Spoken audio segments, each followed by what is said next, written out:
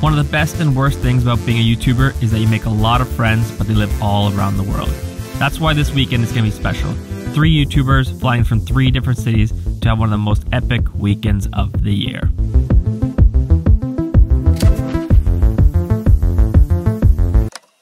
On day three, the Arctic Sun finally decided to make an appearance, so we decided that we should seize the moment and conquer a mountain.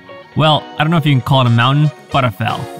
This hike was only 5 kilometers each way, but it was going to take ages because Arnifer couldn't stop taking photos of every single dang tree. It's like the man had never seen a tree before. Okay, back to the Panasonic S5 II, the reason why you're here. So what was it like to shoot with the camera and would I really switch over from the Sony a7S III, which I'm shooting with right now? I gotta say that overall it was a really nice experience. I had that similar feeling to the days of when I shot with the GH6. I literally filmed everything handheld on this trip, no gimbals whatsoever, because the stabilization was just rock solid. And I was pushing it to the limit. Being on a snowmobile or snowshoeing in snow isn't the most graceful activity to be doing. And now I was able to shoot not only epic B-roll, but as well I could vlog knowing that my footage would be in focus. Just for kicks, I thought I'd do some studio tests as well, moving my funky looking face around just to show all the camera nerds that the autofocus does really work. So thanks Panasonic for that autophase detection. Going good. We made it to the top. What? Crazy views. Just check it out.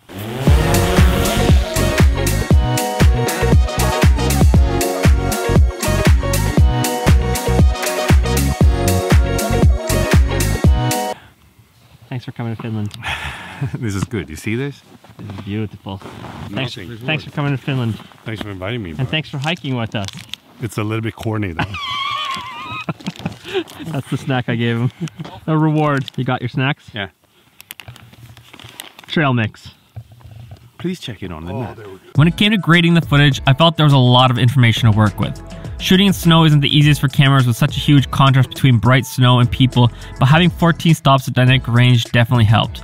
And in general, I just really like the image quality of the Lumix cameras. I filmed in Vlog all of my shots, and you just get so much information and dynamic range in the shots, and there's so much room to play when it comes to grading. I didn't get to test out the low light capabilities in Lapland because, well, who wants to go out and freeze their butt in minus 18 degrees Celsius weather? So I decided to do a very unscientific comparison between the S5 II and the Sony a7S III. I did comparison tests at ISO 1600, 3200, 6400, 12800, and 25600. It was interesting to see that this S5 II and the A7S III looked similar at ISO 1600, but then at ISO 3200 and 6400, the S5 II definitely had less noise. But then at 12800, A7S III won because that's at its base ISO. I was pretty surprised with the test results because I know that the A7S III is known for its low light capabilities, but the S5 II kept up and did even better in some circumstances. So what did I not like about the S5 II? Well, there were two things that I struggled with on this trip. The first was the wobble. Yes, that dreaded wobble that I hated with my Canon R5. There were times when I was shooting really wide that you would start to get the wobble while vlogging because of stabilization. And the second thing I didn't like was the fact when you film 50 frames per second, it's gonna crop into APS-C camera crop. So when I would throw on the 50mm to get that nice, sweet, sweet bokeh in my B-roll, it was essentially an 80mm, which was just too tight for my likings. Now for those people who shoot mostly in 25 frames per second, then there's no problem. But for my workflow, I like to vlog in 25 frames per second and then film B-roll either in 50 frames per second or 100 frames per second. So that was a bit of a bummer. But the fact that I spent a whole weekend shooting exclusively on this camera, and those are the only two things I struggle with, that's impressive. Especially because this camera is only $2,000. Yep, you heard me right. All of these pro video features in a camera for only $2,000. Boy, what would I have done to have that camera in my hands when I first started out. So will I switch over from the Sony a7S III? No, I probably won't. And that's not because the S5 II isn't a great camera, it's because I already have everything I'm looking for in the Sony a7S III. But this is a great camera for someone who's getting into the whole filmmaking world who wants pro video features to learn and grow with, especially when it's going for only $2,000. That's a steal of a deal. Peter, what happened? I crashed. Again? Yeah, Round two? Round two. Hey, I have more faith in you because last time I had no faith and you found it in the worst of conditions. And this time, This time I'm heading conditions down. are maybe better. I'm heading down on my own. oh, sir, Wish me you don't come back. Thanks for coming. See ya. Wish me luck. Peter, where are we going? We're going somewhere over here. How many meters approximately? 90. Okay. So it should be. Won't make it this time. At least we got snowshoes. You lead the way, big man. This is the end of the path. It's easy to walk. huh? I didn't think it was going to be this easy. It fell off. Oh no! He's man down, man down. He he lost his snowshoe. Am I doing something wrong? Oh, look at that. Boom. The last time I attempted this hike, we uh, tried to do it in a cloudy snowstorm, hoping that it would clear out.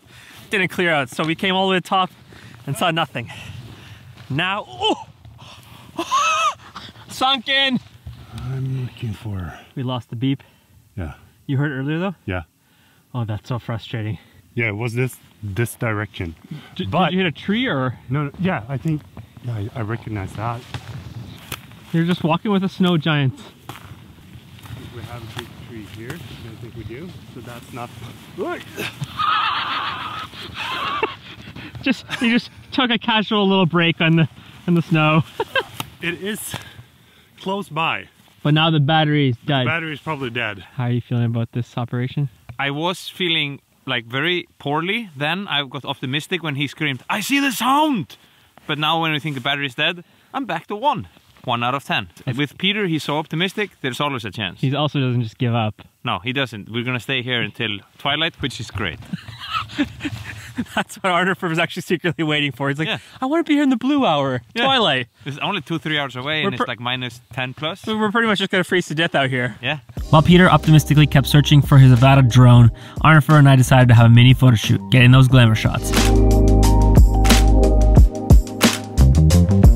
Uh-oh, I heard some screaming. Either something really bad happened or something fantastic happened. Peter, good news? Yes! What? Yeah, I got it. Where? How did you find it? It's here.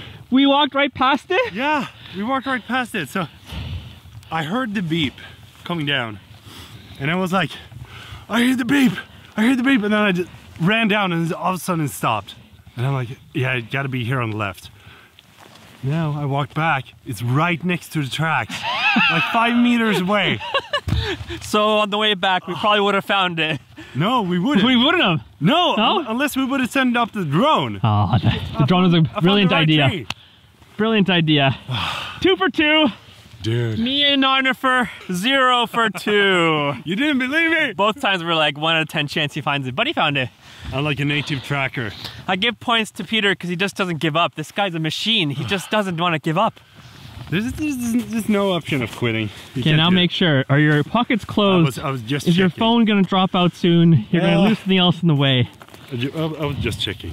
Fantastic way to end your trip. With Peter finding his Avata drone, we decided to climb down the mountain before it got too dark and enjoy the rest of the weekend together. This was part three of the Way Up North series and has officially come to an end. What an incredible weekend with two of the most ridiculously fun people in the world. Hopefully, you guys enjoyed this series.